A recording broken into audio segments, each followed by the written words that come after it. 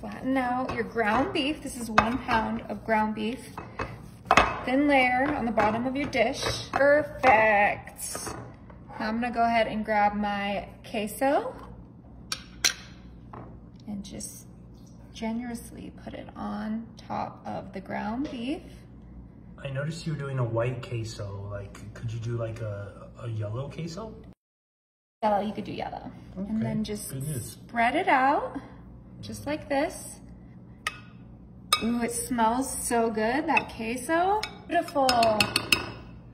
Now, go ahead and take your taco seasoning, whatever brand you prefer. All right, open that baby up and just put the whole packet on top of the queso. Wow, this is looking so good.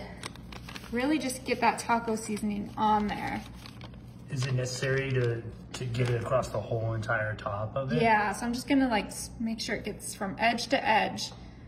Okay, that looks so good. I to see the layering of it. Yeah, you see the layers so That's far? cool.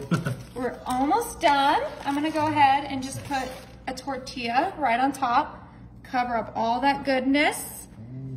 Grab your diced tomatoes. I got it with the green chilies in there and just put it right on top, the whole can.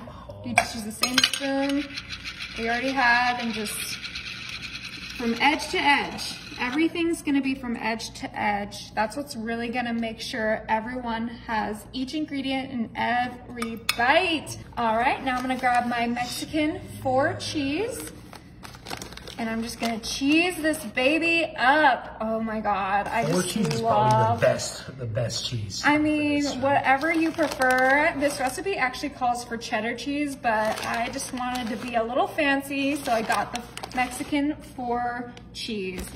Okay. There's cheddar in there. I think you're good.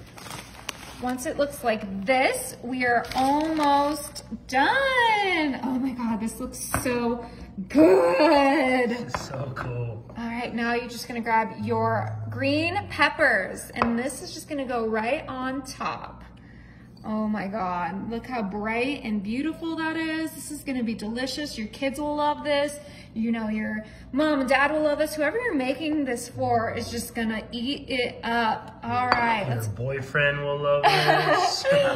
just go ahead and look at those layers. You see the meat, the queso, the cheese, and the peppers. Oh goodness. I'm just gonna go ahead and put this in the oven for like 40 minutes, get that meat cooking real good, and it'll be ready to go. All right, it is ready. Do you see how ooey and gooey that looks? It smells absolutely phenomenal.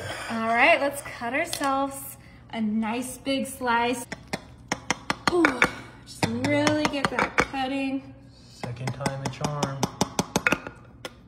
Perfect. Look at that. Okay. Good. Ooh, Sorry. Perfect. you Oh see how that meat is oh perfectly cooked? A sour cream right on top.